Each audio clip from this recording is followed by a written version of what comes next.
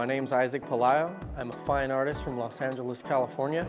My work is a bit of fusion of Italian Renaissance Baroque type work mixed with street art, graffiti, contemporary expressionism. Growing up in LA, I, I was just shrouded by street art and studying Renaissance paintings in books and through JPEG images. And so my work is a bit of fusion of that and it's kind of uh, a juxtaposition between rendered figurative art and loose brushstroke and drips. Sort of a representation of who we are as people.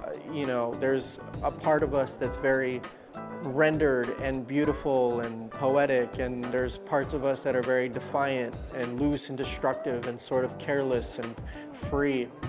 I'm here in Stockbridge, Massachusetts, unveiling my mural in honor of the late Norman Rockwell here in his hometown and exhibiting a collection of works at the Red Lion Inn, a collection of works that I've developed over the last few years. When I first uh, went to the Red Lion Inn, I was very uh, taken by surprise by just the energy. I mean, a, a, historic hotel that's been around for nearly 300 years, I mean, you feel a lot of, of rich energy and culture and time. I mean, it, it feels like a time capsule. It really just sends you back.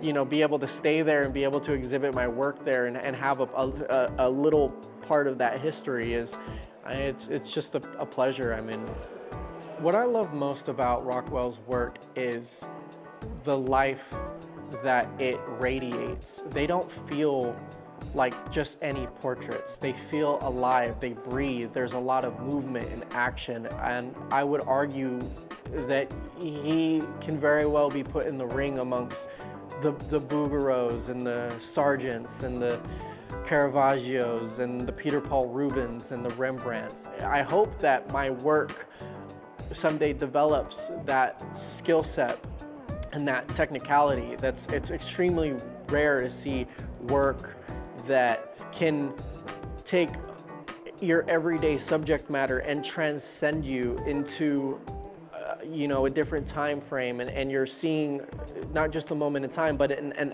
an action. They feel like memories. They feel like you were part of there. Like this piece here a simple Thanksgiving dinner but you can smell the dinner you can hear the laughter and the chatter from the family. They feel like you can grab a glass right off the canvas. I think for anybody who's a fan of art and a fan of figurative work, they just need to be here and come see this stuff in person. I mean, you can't take anybody's word for it. You, you have to come here and feel the energy here. I mean, it's rich.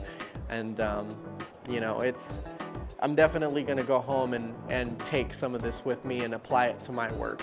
Um, and I'll be back.